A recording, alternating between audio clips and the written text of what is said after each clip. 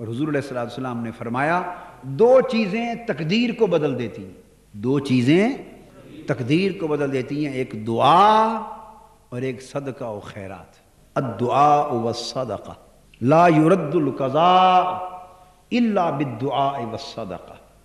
कि कज़ा यानी तकदीर नहीं टलती, ये नहीं बदली जाती, रद्द नहीं की जाती, मगर दुआ और सदका से तकदीर भी बदल जाती। सबसे पहले नई वीडियोस को हासिल करने के लिए शेखुल इस्लाम डॉक्टर मोहम्मद ताहिरुल कादरी के ऑफिशियल यूट्यूब चैनल को सब्सक्राइब करें और बेल आइकन क्लिक करें।